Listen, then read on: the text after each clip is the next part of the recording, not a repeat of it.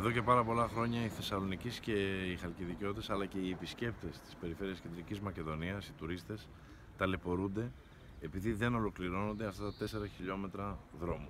Εμείς πέρσι ως Περιφέρεια Κεντρικής Μακεδονίας με κονδύλια του ΕΣΠΑ παραδώσαμε ένα κλειστό ευρωπαϊκό αυτοκινητόδρομο από την Ποτίδα μέχρι την Κασανδρία.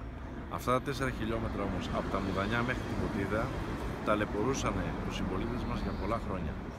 Σήμερα τα έργα προχωρούν κανονικά και σύμφωνα με τους υπεύθυνους της Εγνατίας Οδού το έργο αυτό θα παραδοθεί πριν το καλοκαίρι. Όμως μένει ένα κομμάτι περίπου 900 μέτρων στη γέφυρα της Ποτίδας.